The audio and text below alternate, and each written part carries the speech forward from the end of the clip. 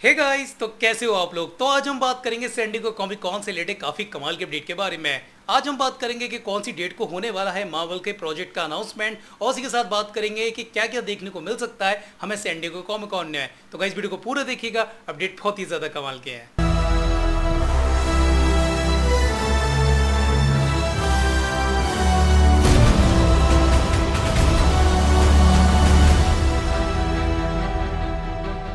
तो चलिए सबसे पहले बात करते हैं डेट के अपडेट के बारे में कि सैंडिगो कॉमिक कॉन के अपडेट हमें कब देखने को मिलेंगे।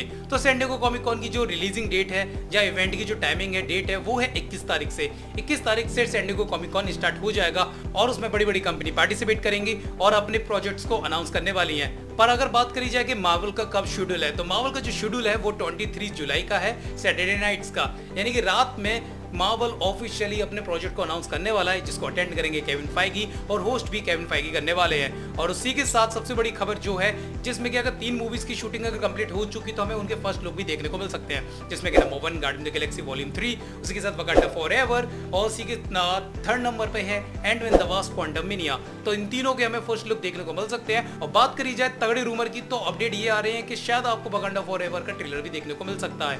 और सेंडो कॉमिक कॉन में हमें सबसे पहले प्रमोशन में जो देखने को मिला था, वो देखने को मिला था वकंडा फॉर का पोस्टर उसी के साथ हमें देखने को मिला था शीहल के बैनर्स जो कि सैंडिगो में लगे हुए हैं काफ़ी टाइम से। इनका तो हमें कुछ डेफिनेटली देखने को मिलने वाला तो है ही है। और उसी के साथ अगर बात करी जाए न्यू प्रोजेक्ट अनाउंसमेंट की तो finally twenty three unannounce project हैं एमसीयू के अंडर तो शायद वो भी रिलीज़ हो सकते हैं अनाउंस हो सकते हैं, जिसमें कि डेडपुल थ्री हो सकती है एक्स मैन ब्लेड इन और फैंटास्टिक फोर की कास्टिंग रिबिल्ड और उसी के साथ बात करी जाए कुछ एक्स्ट्रा प्रोजेक्ट के बारे में, जिसमें कि Loki season two What If season two उसका फ़र्स्ट लुक बहुत कुछ है मतलब एमसीयू में, जो कि हमें साथ सैंडेको कॉमिकॉन में देखने को मिल सकते हैं। बाकी जो प्रोजेक्ट है, जो कि हमें नहीं दिखाई जाएँगे सैंडेको कॉमिकॉन में, वो डिजनी एक्सपो में पता चलेंगे, जो कि सितंबर के महीने में होने वाला है। तो एवरीथिंग जितने भी अपडेट्स आएँगे, मैं आपको तुरंत अपडेट करूँगा ऑन यूट्यूब और अगर सुपर फास्ट अपडेट के लिए जानना है आपको तो आप मेरे को इंस्टाग्राम पर फॉलो कर सकते हैं। मैं आपको वहाँ पे सारे अपडेट प्रोवाइड कर दूँगा। तो गाइज़ ये थे वो काफ़ी सारे कमाल के अपडेट अगर वीडियो पसंद आए तो लाइक करना शेयर करना।